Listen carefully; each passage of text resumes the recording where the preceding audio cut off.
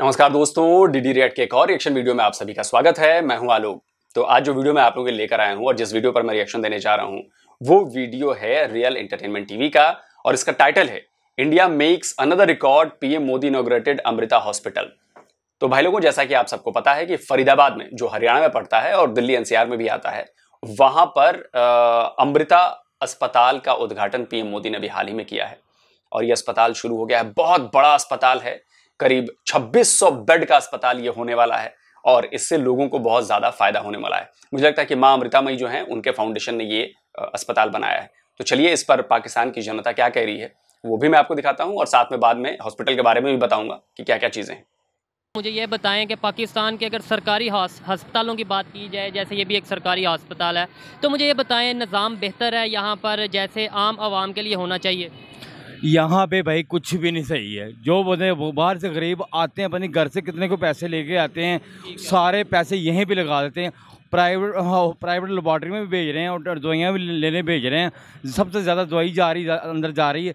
और आउटडोर में आधे पैसे भी लिए जा रहे हैं। पैसे किसी काम किसी काम का नहीं है हॉस्पिटल है। गवर्नमेंट बिल्कुल बिल्कुल असली भूखी हो गई है। ठीक है मुझे मैं आपको बताता चलूँ इंडिया जो कि हमारा हमसाया मुल्क है आपको पता है। वहाँ पर एशिया का सबसे बड़ा अस्पताल बना है सरकारी अस्पताल बना है। और वो अगर बात की जाए आबादी में भी हमारे से ज़्यादा है आपको पता है इंडिया की आबादी हमारे से ज़्यादा है। वहाँ पर हेल्थ सेक्टर जो हेल्थ केयर है वो हमारे से बेहतर है कम पाकिस्तान की नस्बत। क्या वजह समझते हैं उनकी आबादी भी ज़्यादा है वहाँ पर तो ज़्यादा मरीज़ होने चाहिए लेकिन उन्होंने कंट्रोल कैसे किया हुआ है? भाई ना वो अपनी वो अपनी जगह पे बहुत ठीक जा रहे हैं। कैसे? वो क्या व- हमने भी तो सीखना है ना उनसे। ज़ाहिर बात है जो अपनी हुकूमत करेगी तो साथ देगी तो गवर्नमेंट काम करेगी ना। हर बंदा जो जो भी चेकअप कराने आता है अंदर बाहर से दवाई लिख के देता है ये बाहर से दवाई ले लो। यहाँ से कुछ भी जो एडमिट भी हुए ना उनको भी दवाइयाँ लिख लिख के बाहर भेजते हैं। और मेडिकल टेस्टों भी बाहर भेजते हैं। टेस्ट भी बाहर करवा बात है। जो आउटडोर में भी करते हैं, वो आधे पैसे भी ले रहे हैं अंदर। क्यों ले रहे हैं? किस बात पे ले रहे हैं? गवर्नमेंट हॉस्पिटल इसको बंद करते हैं फिर। गवर्नमेंट हॉस्पिटल में वाकई अगर गवर्नमेंट का अस्पताल है तो फिर वहाँ पर फैसिलिटीज़ वहाँ पर वसाइल भी वैसे ही होने चाहिए। तो मुझे ये बताएँ कि कैसे, मैंने आपसे क्वेश्चन पूछा कि कैसे आप इधर आ जाए? आप भी दवाइयाँ लेने आए हैं? आगे पीछे आप गुजर मेरा जी। अच्छा मुझे आपसे भी करते हैं। मेरा साहब एडमिट है। जी जी एक मिनट आप बताएँ कि आप ये दवाई लेने जा रहे हैं। मैं दवाई लेने जा रहा हूँ वालिद साहब एडमिट है। दो घंटे हो गए उनको यही ड्रामे कभी संज लिख देते हैं कभी किट लिख देते हैं। अब ये मैंने ब्लड अपना देना आप कह रहे जो थैली लेके हमारे पास खत्म है जिसमें ब्लड डालता है। थैली खत्म है जिसमें खत्म है। वो ऊपर से इतनी बदतमीजी से बोलते हैं यार ये किस चीज़ का गवर्नमेंट का हॉस्पिटल है यार?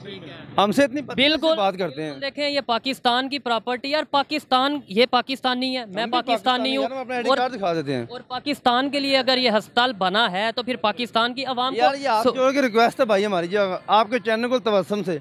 ये कुछ गरीबों का ख्याल कर रहे हैं? मैं आपसे अगला सवाल ये करने लगा हूँ कि इंडिया जो कि हमारा हमसाया मुल्क है यहाँ से लोग वहाँ पर इलाज करवाने जाते हैं। जी जी। वहाँ पर अगर दुनिया के हवाले से बात की जाए तो पाकिस्तान से बेहतर निज़ाम है हेल्थ का और उधर आबादी हमारे से ज़्यादा है आपको पता उधर तो तीन गुना ज़्यादा आबादी है। है छः गुना ज़्यादा आबादी हाँ जी। फिर भी हमारे से बेहतर निज़ाम कैसे है क्या वजह उसकी वजह ये है कि हमारे हुक्मरान बिल्कुल करप्ट हैं। ये जो भी कुछ आता है अपनी जेब में डाल लेते हैं। अब देखो उन्होंने बिल कितने कितने भेजे हैं। बीमारी एक ऐसी चीज़ है बीमारी ऐसी चीज़ है जब दर्द होगी ना हाँ किसी को तो वो कहेगा मैं किसी दुश्मन से भी किसी से भी इलाज करवा लो। तो अगर आपको इंडिया या किसी मरीज़ को इंडिया जाने की यहाँ से हो तो वो क्या जाएगा वहाँ पर इलाज करवा? सर जाएगा ऐसे हालात में बिल्कुल जाएगा वो। जो अंदर दर्द बर्दाश्त नहीं- नहीं बर्दाश्त होती है और वो बदतमीजी से बात करते हैं। उनको कोई तमीज नहीं है वो अपनी फ्रूट खा रहे हैं अपने गप्पे लगा रहे हैं लड़कियाँ लड़के। उनको नहीं है कि कोई मर रहा है कोई जी रहा है। वो ऐसे कहते लिख के देते हैं चलो भी ले क्यों नहीं? यहाँ तो घस जाओ अपने। लेकिन यहाँ पर मैं ये ये भी कहूँगा कहीं पर अच्छे भी मौजूद हैं लोग और बुरे लोग भी मौजूद हैं। अच्छा आप कुछ कहना चाहेंगे? आपकी ये टांग का क्या मसला है? भाईजान ये मुझे चोट लगी है। ठीक है। पंद्रह से सोलह दिन मैं जना हॉस्पिटल रहा हूँ। ठीक है ये हॉस्पिटल में रहे जी इधर इन्होंने मेरा प्लस्तर किया है। प्लस्तर करने की वजह से मेरी टांग ख़राब हो गई। प्लस्तर करने की वजह से खराब हो प्लस्तर करने की वजह से मेरी टांग ख़राब हुई है। उसके बाद मैं इधर एडमिट ही था और डॉक्टर ने बोला आपका पैर ज़ाया हो जाएगा आपका पैर कटना पड़ेगा।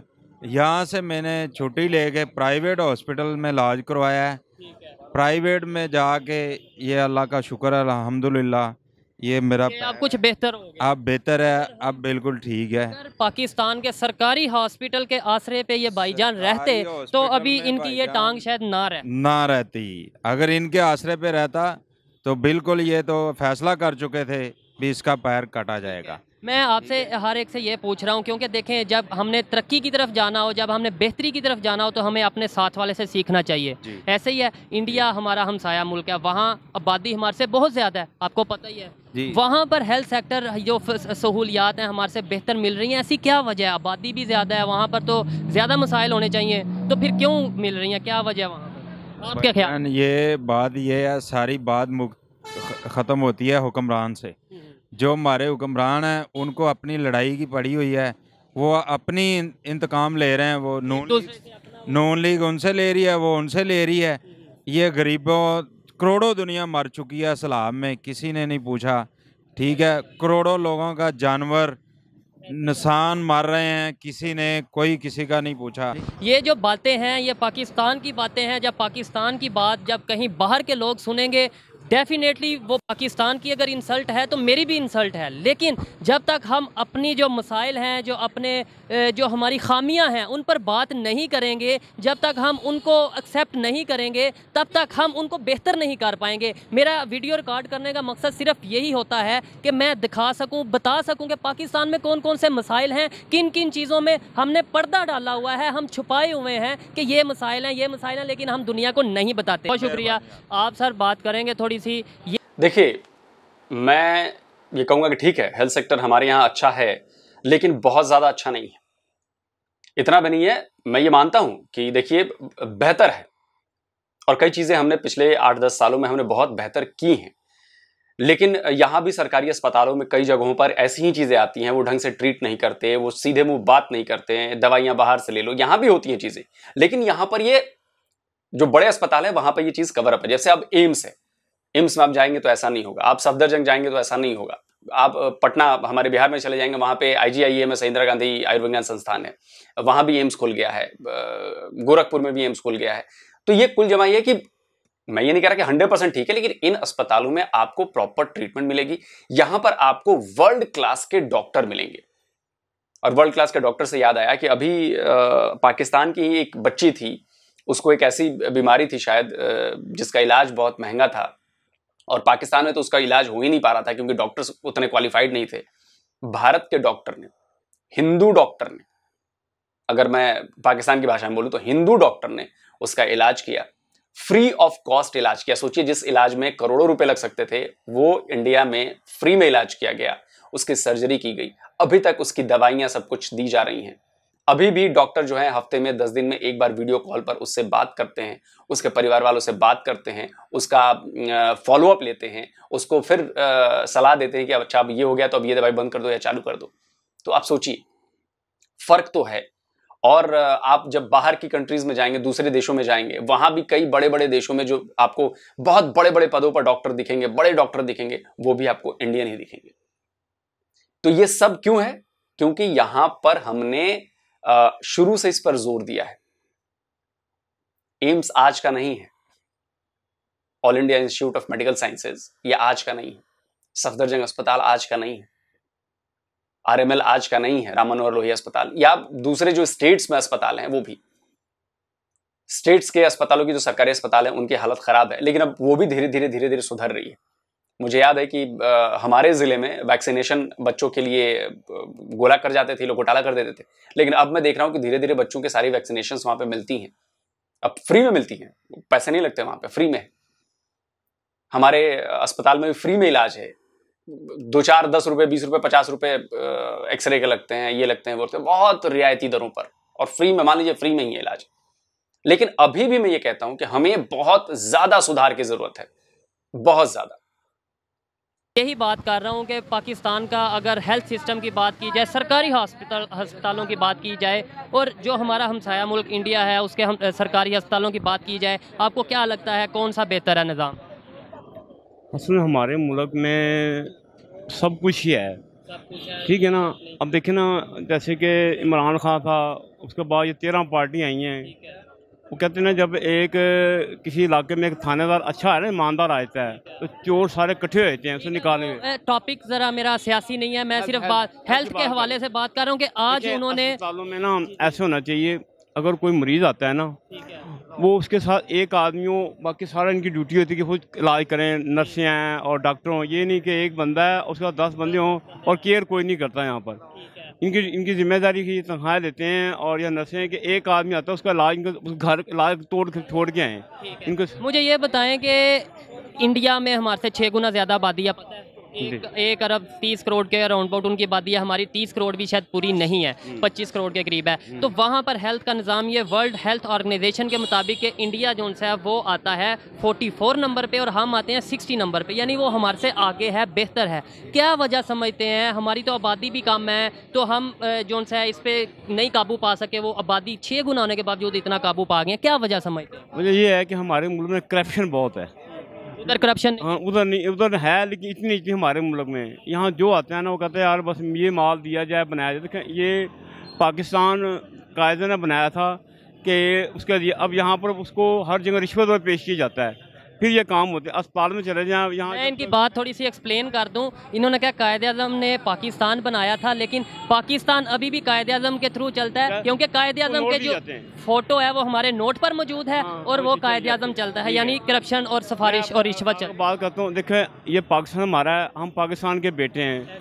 ये हमको क्या मिटाएँगे? हम सब इन्हीं को मिटा कर रख देंगे।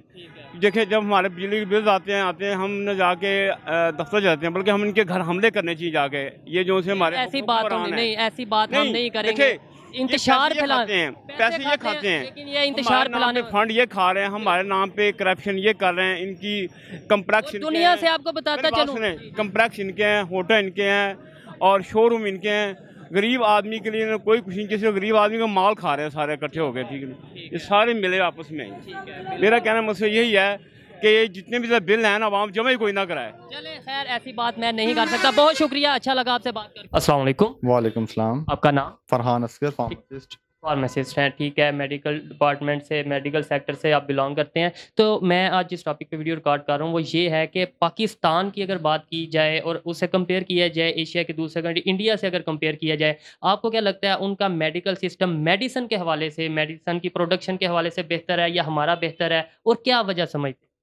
एक्चुअली हमारे यहाँ जो मेडिसिन जो है ना ज़्यादातर जो है ना हम इम्पोर्ट या जो भी लाइसेंसिंग का जो एक प्रोसेस होता है उसके जो मेडिसिन पाकिस्तान में बन के आ रही होती हैं। या पाकिस्तान में अगर मैन्युफैक्चरिंग भी जो हो रही है ना तो वो जो रॉ मटेरियल है वो हम ज़्यादातर बाहर से मैन्युफैक्चर करते हैं। क्यों? या तो हमारे यहाँ उस तरह के रिसोर्सेज नहीं होते हैं या हमारे पास उस तरह की टेक्नोलॉजी रिसर्च सेंटर्स नहीं वैसे होते हाँ। रिसर्च सेंटर्स हमारे पास उस तरह से बने नहीं हुए कि हम हमारे यहाँ जो मेडिसिन बने उनको प्रॉपर तरीके से जो हमारे पास अभी यहाँ रिसेंटली पाकिस्तान में ड्रग टेस्टिंग लैब का जो क्याम अमल में लाया गया है तो इससे हमारी मेडिकेशन की जो एफिकेसी है वो काफ़ी हद तक इम्प्रूव हो गई है। लेकिन फिर भी हमें उस स्टैंडर्ड तक जो इंटरनेशनल स्टैंडर्ड है वहाँ तक पहुँचने के लिए शायद हमें वो रिसोर्सेज चाहिए या हमारे यहाँ मैन्युफैक्चरिंग डिपार्टमेंट्स को और बेहतर करना पड़ेगा क्योंकि हमारी जो फार्मा इंडस्ट्रीज़ है वहाँ पर रिसर्च के लोग नहीं होते।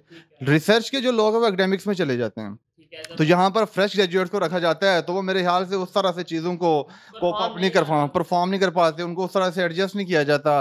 फैसिलिटीज़ नहीं प्रोवाइड की जाती जिसकी वजह से पाकिस्तान में इस वक्त मेडिसिन की शॉर्टेज एक बहुत बड़ा इशू है। बहुत सारी है तो इंडिया की अगर बात की जाए इंडिया की बात की मेडिसिन की शॉर्टेज से याद आया इसके लिए भी इमरान खान जिम्मेदार हैं। इमरान खान ने भारत से सब कुछ बंद कर दिया हालाँकि अभी भी हम दवाइयाँ भेज रहे हैं आपके यहाँ। ये ऑन रिकॉर्ड है। सरकार ने ऑन रिकॉर्ड पाकिस्तान की सरकार ने बताया है कि हम दवाइयाँ इंपोर्ट कर रहे हैं इंडिया से।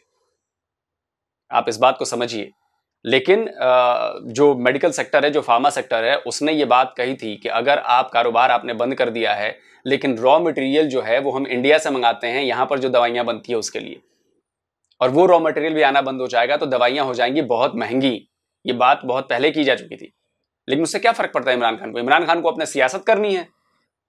आम जनता जाए भाड़ में वही हो रहा है। की जाए वो खुद अपनी मेडिसिन आप क्योंकि मेरे से ज़्यादा बेहतर जानते हैं आप इस फ़ील्ड से आपको क्या लगता है वो खुद अपनी मेडिसिन जो उनसे वो प्रोड्यूस कर रहे हैं? इंडिया का हेल्थ केयर सिस्टम पाकिस्तान से कदरे बहुत बेहतर है। उसकी क्या वजह है सर? वहाँ पे आबादी हमारे से छः गुना ज़्यादा है और आप इस चीज़ को बेहतर जानते हैं कि जहाँ आबादी ज़्यादा होगी वहाँ पर हेल्थ के मसाइल ज़्यादा होंगे।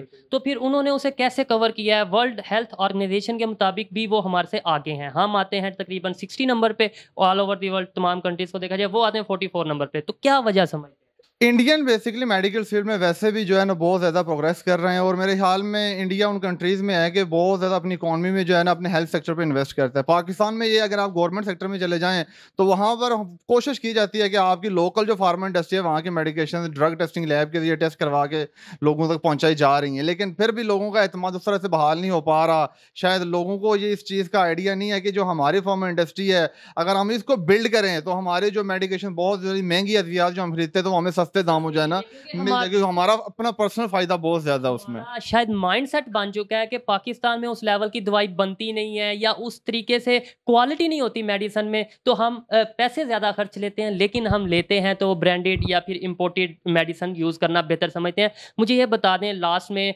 अगर ये थी आपने मेडिकल के मेडिसन के हवाले से बात की अब अगर हम जर्नल एक कॉमन सा क्वेश्चन कॉमन पब्लिक के हवाले से अगर बात करें तो पाकिस्तान का जो हेल्थ सेक्टर है जो सरकारी अस्पताल हैं और इंडिया के जो हेल्थ सेक्टर और सरकारी अस्पताल हैं, क्या समझते हैं कौन सा बेहतर है और क्या वजह सिर्फ़ एक लाइन में आपने रीज़न बतानी है जो आपके ख्याल पाकिस्तान में जो टर्शी केयर हॉस्पिटल है उनका सिस्टम बहुत अच्छा है आउटस्टैंडिंग है। मैं बड़े सेक्टर शिफा इंटरनेशनल की एग्जांपल दूँ वहाँ पर आपका फार्मेसी डिपार्टमेंट ट्रस्ट ट्रस्ट की बात नहीं कर रहा मैं सरकारी जस्ट सरकारी गवर्नमेंट सेक्टर्स में हमारे यहाँ मैं जनरल हॉस्पिटल या सर्विस हॉस्पिटल की अगर एग्जांपल देता चलूँ लेकिन अद्वियात का जो मैार है शायद उस तरह से लोगों का ट्रस्ट बिल्ड नहीं कर सका जिस तरह से होना चाहिए। तो लोग वहाँ से मेडिसिन ले लेते हैं लेकिन वो कहते हैं कि जी हमें जो अद्वियात जो मल्टी कंपनीज़ की होती हैं जो ज़्यादा जिनका ट्रस्ट है जो बाहर से इंपोर्ट करके पाकिस्तान में ला रहे हैं या बाहर के लाइसेंस पर पाकिस्तान में मैन्युफैक्चरिंग हो रही है तो उन पर उनका एक ट्रस्ट बन चुका है। लोगों के पास शायद अवेयरनेस नहीं है पाकिस्तान में फार्मेसी प्रोफेशन उस तरह से प्रोग्रेस नहीं कर रहा। पाकिस्तान में फार्मेसीज पर पढ़े लिखे लोग नहीं हैं फार्मासिस्ट की मौजूदगी ना होने ये किसकी। ज़िम्मेदारी है सर? ये किसकी ये गवर्नमेंट की ज़िम्मेदारी है? जो गवर्नमेंट या फिर जो गवर्नमेंट ने अदारे बना दिए हैं उनकी ज़िम्मेदारी है। इसमें हर एक की जो है ना ज़िम्मेदारी हर एक पर आयद होती है। आप हेल्थ सेक्टर में देखें तो हर बंदा इसमें इन्वॉल्व है। सेक्रेटरी से लेकर हर नीचे लेवल तक फार्मेसी काउंसिल है उसका रोल है। आपके जो पीएमसी है उनका रोल है। इक्वली जो जिस तरह से मेडिकल प्रोफेशन को आगे जाना चाहिए फार्मासिस्ट और फिजिशियन का जो रोल है वो पाकिस्तान में वेल डिफाइंड नहीं है। और डब्ल्यू एच के जो कवानीन हैं पाकिस्तान में लागू नहीं हो रहे हैं। हर पचास से सौ बेड हॉस्पिटल में फार्मासिस्ट नहीं मिलता। तो जब उन पेशेंट्स को अद्वियात के बारे में जब मुकम्मल मालूम फ्राहम नहीं की जाती हैं तो इसी तरह फिर उनका ट्रस्ट भी बिल्डअप नहीं होता। तो ये एक बड़ा ड्रॉबैक है जिसको ओवरकम करने के लिए हर एक फर्द को किरदार अदा करना पड़ेगा और हमारे दारों को मज़बूत होना पड़ेगा और सख्त फैसले लेने पड़ेंगे जिससे हम कवानीन की जो है ना वो पासदारी को अमल दरामद करवा सकें। बहुत शुक्रिया। अच्छा लगा इनसे बात करके और इनसे बात करने का मकसद ये था कि जो बात ये करेंगे वो काफ़ी हद तक अथेंटिक बात होगी as compared to general public तो आपको इनकी बातें कैसी लगी मुझे कमेंट में आपने बताना है। और लास्ट में सर ये बता दें कि यहाँ से पाकिस्तान से आप देखने में आ रहा है कि इंडिया लोग जा रहे हैं ट्रीटमेंट के लिए। आपने ये देखा होगा या सुना होगा। क्या वजह है कि पाकिस्तान के लोग इंडिया के हेल्थ सेक्टर पर ट्रस्ट करने पर मजबूर हैं। उसमें उनकी जो है फ़ीस कम है उनके अखराज कम है या कोई और रीज़न फीसेज या अखराज की बात तो पाकिस्तान में भी हाँ चीज़ें बहुत बेहतर हो गई हैं। मैं ये नहीं कहता कि हर बंदा बाहर लेकिन कुछ ऐसी बीमारियाँ हैं जिनमें पाकिस्तान की पाकिस्तान में प्रोग्नोसिस इतनी अच्छी नहीं है। तो जिन बीमारी की तशखीस या प्रोग्नोसिस पाकिस्तान में आपके पास अच्छी ना हो तो लोग प्रेफर करते हैं कि हम जो है ना भारत में या किसी ऐसे कंट्री में जाएँ जहाँ पर हमें फैसिलिटीज़ मिल सकें। अगर मैं ऑनकोलॉजी की या कैंसर की एग्ज़ाम्पल तो बहुत सारी मेडिकेशन जो हम इंडिया से जो है ना पाकिस्तान में इंपोर्ट करके आती हैं लेकिन पाकिस्तान में वो रजिस्टर नहीं है। तो रजिस्ट्रेशन का एक प्रॉपर प्रोसेस होना चाहिए ताकि लोगों को इस तरह की अद्वियात जो जिनको ब्लैक सेलिंग होती है जो अद्वियात पाकिस्तान में रजिस्टर होकर पंद्रह की मिलती है वो पंद्रह की लोग बेचते हैं। तो इससे आवाम पर एक बहुत बड़ा जो है ना प्रेशर आता है एक जानलेवा बीमारी में वो मुबतला होते हैं तो वो उनको बहुत ज़्यादा जो है ना सफरिंग में जाना पड़ता है। तो इस सारी चीज़ों को बेहतर करने के लिए आपकी ड्रग रेगुलेटरी अथॉरिटी को जो है ना रोल करना पड़ेगा फ्रंट लाइन पर आकर जिससे हम जो है ना वो इन चीज़ों को ओवरकम कर सकते हैं और अपने सर्कमस्टांसिस को बेहतर कर सकते हैं। कर सकते हैं मुझे बहुत अच्छा लगा इनसे बात करके। आज मैं आपको जिस ऐप के बारे में बताने जा रहा हूँ इसका नाम है कलाम टाइम जो कि बिल्कुल व्हाट्सएप की तरह काम करती है बल्कि इससे भी ज़्यादा बेहतर और आसान तरीके से आपको एंटरटेन करेगी। आप इसके ज़रिए वीडियो कॉल्स में अनलिमिटेड लोग ऐड कर सकते हैं। Chat end to end encrypted होती है। और सबसे इंपॉर्टेंट चीज़ अगर आप किसी दूसरे कंट्री में बात कर रहे हैं तो आपकी बातें इस कंट्री की ज़बान में ऑटोमेटिकली ट्रांसलेट हो जाएँगी।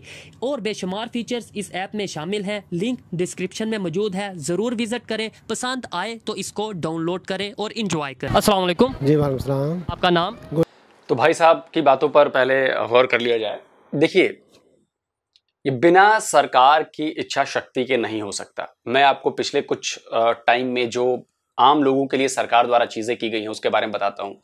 एक मेडिकल इंश्योरेंस हमारे यहाँ सरकार की तरफ़ से करवाया गया है। शायद वो मुझे एग्जैक्टली याद नहीं है। शायद साल के बारह या पंद्रह रुपए लगते हैं और शायद दो लाख रुपए तक का इलाज वो अस्पतालों में फ्री है। आप सोचिए कि बारह पंद्रह रुपए दे के साल का और दो लाख रुपए तक का इलाज जो है वो फ्री है।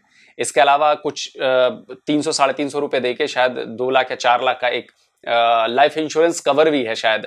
अटल योज, अटल जीवन जो कुछ इसी टाइप का है, मुझे एग्जैक्टली याद नहीं है। वो कराया गया है।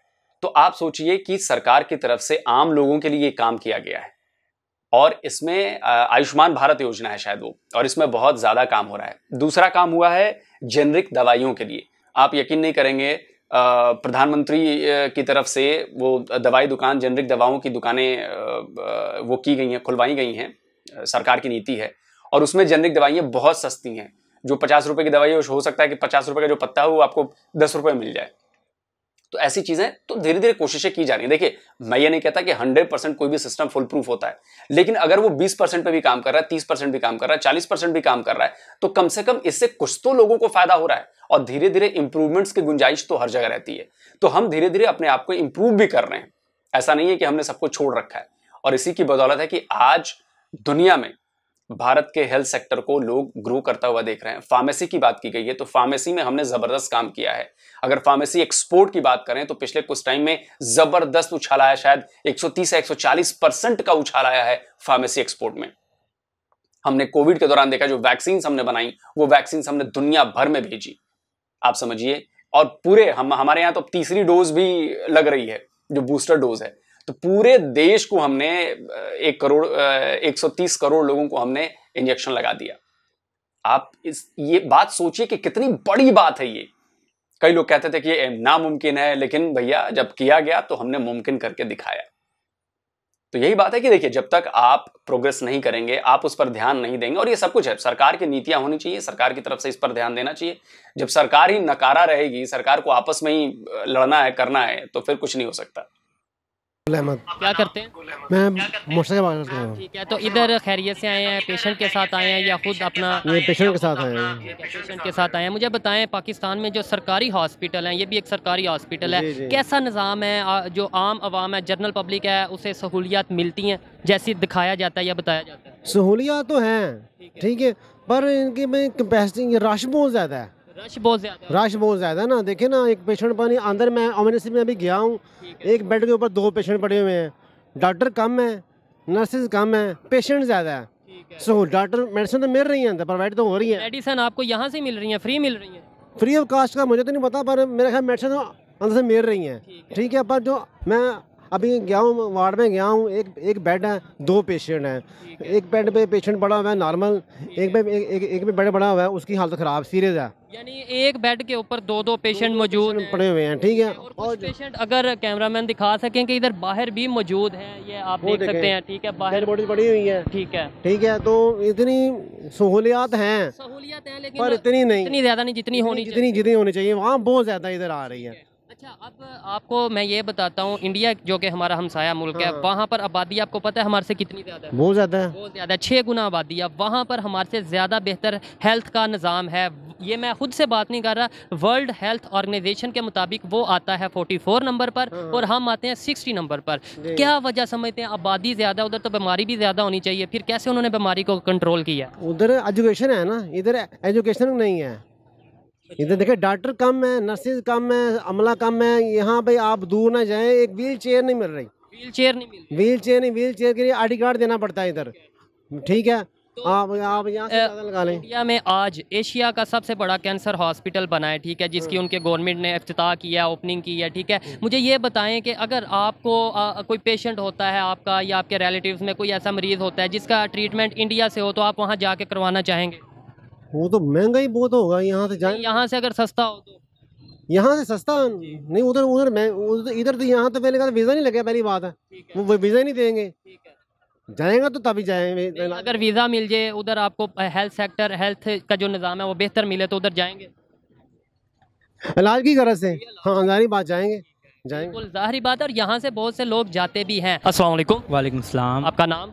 वजाहत। थोड़ा सा ऊँची बोलिएगा। मोहम्मद वजाहत। मोहम्मद वजाहत। तो मुझे ये बताएँ इधर हॉस्पिटल में आए हैं पेशेंट के साथ आए हैं या किसी और सिलसिले से आए हैं? मैं पेशेंट पेशेंट के साथ आया पेशेंट के साथ आए हैं।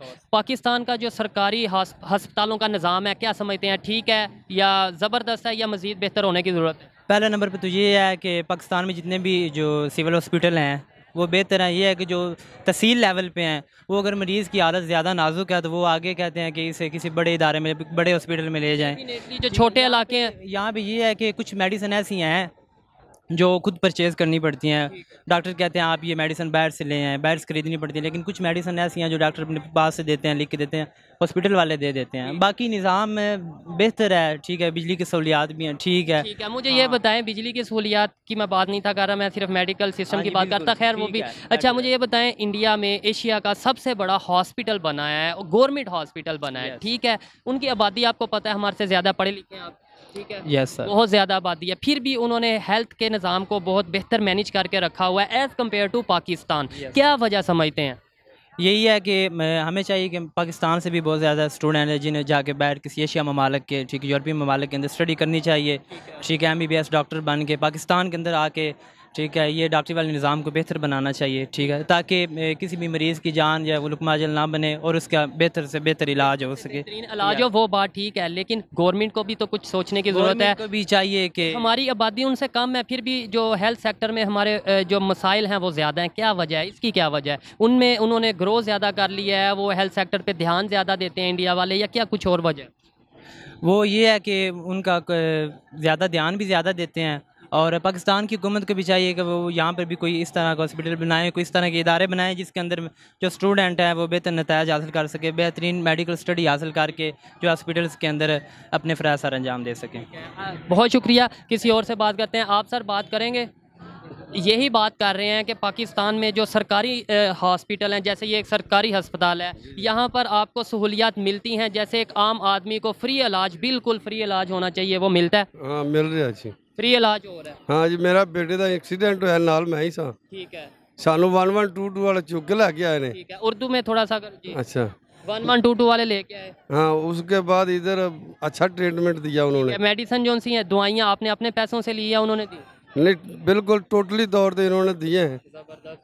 ज़बरदस्त मतलब यह है कि काम हो रहा है और इसमें कोई शक नहीं कि हेल्थ का एक जो सेक्टर है हेल्थ का डिपार्टमेंट है, वो वाहिद ऐसा डिपार्टमेंट है, दुनिया में कोई भी मुल्क हो, वसाइल ज़्यादा हो या वसाइल कम हो, लेकिन जो हेल्थ का निज़ाम है, वो कहीं ना कहीं, क्योंकि ये डिपेंड करता है डायरेक्टली ये इमोशंस के साथ इन्वॉल्व होता है अटैच होता है तो डॉक्टर्स अपने पास से चाहे उन्हें पैसे लगाने पड़े, लेकिन वो कोशिश करते हैं कि वो मरीज़ को बेहतर से बेहतरीन इलाज कर सकें। बहुत शुक्रिया। जी तो दोस्तों, ये थी आज की वीडियो पाकिस्तान के अवाम की राय आप तक पहुंचाई। आपको पाकिस्तान के जो हॉस्पिटल हैं, उनकी कंडीशन दिखाई। और अगर मेरी पर्सनल ओपिनियन की बात की जाए तो इंडिया में अगर एशिया का सबसे बड़ा हॉस्पिटल बना है तो इसका मतलब है कहीं ना कहीं इंडिया वालों ने यह भी सोचा है कि एशिया से कोई भी, ना सिर्फ़ एशिया से, बल्कि दुनिया से, पूरी दुनिया से कोई भी मरीज़ आकर वहाँ पर अपना ट्रीटमेंट करवा सकता है। और पाकिस्तान से पहले भी लोग वहाँ पर जाते हैं। बहुत से केसेस मैं ऐसे जानता हूँ कि पाकिस्तान से वहाँ पर जाते हैं और वहाँ पर ट्रीटमेंट करवाते हैं। पाकिस्तान को भी चाहिए कि वो ये चीज़ें सीखें। मैनेजमेंट का तरीका सीखे कि किस तरीके से उन्होंने आबादी इतनी ज़्यादा होने के बावजूद अपना जो मेडिकल सिस्टम है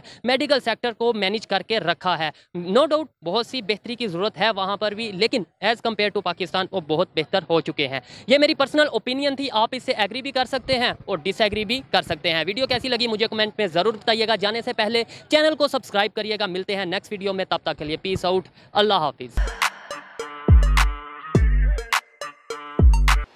चलिए दोस्तों तो वीडियो हो गया है ख़त्म और आपने देखा, देखिए, इलाज हेल्थ सेक्टर में ये तो आम आदमी हर शहरी का हक है और सरकार पर इसकी ज़िम्मेदारी होती है कि वो उपलब्ध कराए, चाहे जहाँ से मन करे कराए। क्यों देखिए, हम लोग टैक्स क्यों देते हैं? हम लोग टैक्स देते हैं अपनी सुविधाओं के लिए कि भाई हमारे, हमें सड़क अच्छी मिले, हमें इलाज अच्छा मिले। ठीक है, हमारे यहाँ भी सरकारी अस्पतालों में है दिक्कतें, लेकिन धीरे धीरे धीरे धीरे बेहतर हो रही है। बाकी अस्पतालों की बात करें तो यहाँ पे बहुत बड़े बड़े अस्पताल हैं, जो प्राइवेट अस्पताल हैं, जैसे फोर्टिस है वहाँ से भी दुनिया भर से लोग मैंने देखे हैं, वहाँ पे इलाज कराते हुए कराने आते हैं। दुनिया भर से, और खासकर पाकिस्तान और अफ्रीकन कंट्री से बहुत ज़्यादा आते हैं। दूसरा मैं आपको बताऊँ कि लोग अमेरिका से इलाज कराने यहाँ आते हैं। आपको यकीन नहीं होगा कि मेडिकल टूरिज़्म करोड़ों रुपए का बिज़नेस बन चुका है।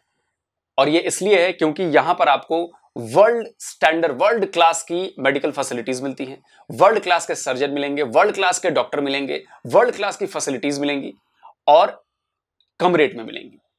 आपको यकीन नहीं होगा कि अमेरिका में अगर नी रिप्लेसमेंट है या हिप सर्जरी है, वो अगर मान लीजिए कि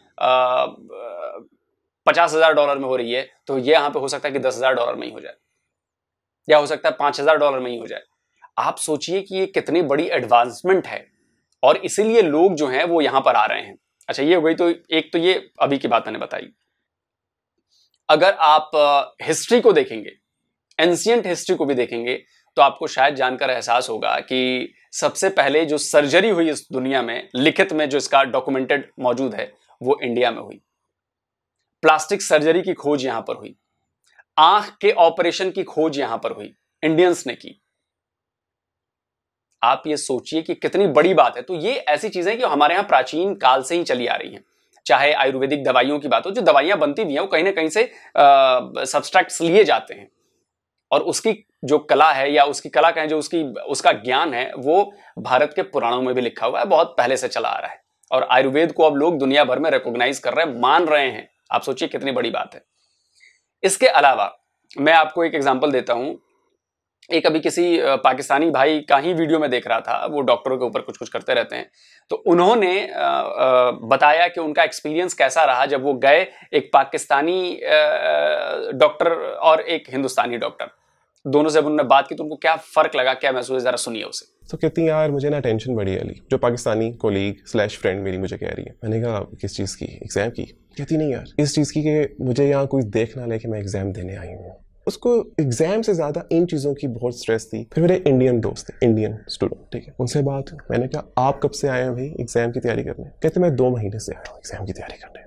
कहते, पहले मैंने एक इलेक्टिव की वहाँ मैंने देखा है कि माहौल कैसा है, दूसरे किए अब मैं इस अकेडमी से पढ़ रहा हूँ और इस अकेडमी से पढ़ने के बाद मैं बाकी अकेडमी के भी मॉक्स दे रहा हूँ और इसके बाद मैंने यहाँ स्टे करना जब तक रिज़ल्ट नहीं आता और फिर मैंने साथ एक और इलेक्टिव भी कर मैंने कहा, यार, आपकी तो यार इतनी तैयारी है, इतनी लॉन्ग टर्म प्लानिंग से आए हो यार। आप तो यार निकल गए टेस्ट में यार आगे। कहते, नहीं यार, मुझे ना टेस्ट का बहुत डर लग रहा है यार। उड़ ना जाए यार, बहुत परेशान। परेशानियाँ दोनों तरफ़ थी। अगर जो लेफ़्ट साइड पे जो इंडियन वाले दोस्त थे, उनको परेशानी थी रिज़ल्ट की एग्ज़ाम की, क्या होगा? जो पाकिस्तानी है इनको अपने घर वालों की, अपने रिलेटिव्स की नज़र ना लग जाए। वर्क प्लेस पे क्या होगा? इन चीज़ों की इतनी टेंशन है कि आगे कैसे देखें? सुना आपने? तो ये बेसिक फ़र्क है। हमारे यहाँ दौड़ इस बात की है कि हम अपनी जो स्टैंडर्ड हमें सेट किया, उससे बेहतर कैसे करें? उससे आगे कैसे निकलें? और मुझे लगता है कि सरकार की तरफ़ से भी इस पर बहुत ज़्यादा ध्यान दिया जा रहा है। कई सारे नए मेडिकल कॉलेजेस खोले जा रहे हैं, कई सारे नए एम्स खुल चुके हैं। एम्स जो है, वो वर्ल्ड लेवल में एक नाम है उसका, पूरी दुनिया में, अस्पतालों में। सरकारी अस्पताल है। आप जाएँगे, देखेंगे दिल्ली में जो उसका सबसे दिल्ली का एम्स है वो इतना ज़बरदस्त है, वहाँ पे कई बार मैं जा चुका हूँ। मेरे अपने दादाजी को पेस मेकर हमने वहाँ पे लगवाया था। और भी कई बार मैं वहाँ पे जा चुका हूँ। हर डिपार्टमेंट है और और सिर्फ़ वो हॉस्पिटल नहीं है, वो रिसर्च सेंटर भी है, वो कॉलेज भी है।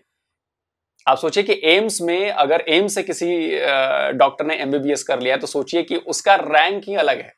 और एम एम्स में एडमिशन पाना भी एमबीबीएस में उसमें पा जाना, ये समझिए कि माउंट एवरेस्ट चढ़ने के बराबर है। तो आप सोचिए कि ये सरकारी अस्पताल है, उसके बाद भी। और वहाँ पे बहुत ज़्यादा फैसिलिटीज़ हैं, हर चीज़ के लिए, हर चीज़ है आपको वहाँ पे मिलेगी। तो कुल जब मैं ये कह रहा हूँ कि देखिए, हम भी हंड्रेड परसेंट नहीं है, नहीं तो चौवालीसवीं रैंक नहीं होती, हम और ऊपर होते लेकिन हमारी कोशिश है उसको और ऊपर ले जाने की। हम धीरे धीरे ये कोशिश कर रहे हैं ट्राई कर रहे हैं। हम नए कॉलेजेस खोल रहे हैं, हम नए रिसर्च सेंटर्स खोल रहे हैं। और ये जो अस्पताल खुला है फरीदाबाद में, ये मुझे लगता है कि ये बहुत गेम चेंजर होगा आसपास के लोगों के लिए नहीं, पूरी दुनिया के, पूरे एशिया के लिए ये बहुत बड़ा अस्पताल होगा। छब्बीस सौ से ज़्यादा बेड का अस्पताल है ये बच्चों के लिए, बड़ों के लिए अलग अलग तरह की बीमारियाँ अलग अलग तरह के सेंटर्स सब कुछ है इसमें। तो ज़ाहिर सी बात है कि इससे लोगों का ही फ़ायदा होगा और लोगों का फ़ायदा होते रहना चाहिए। सरकार हम इसीलिए चुनते हैं कि हमारे लिए वो चीज़ें, सुविधाएँ उपलब्ध कराए। तो जल्दी हाजिर होता हूँ एक और नए वीडियो के साथ। नमस्कार। जय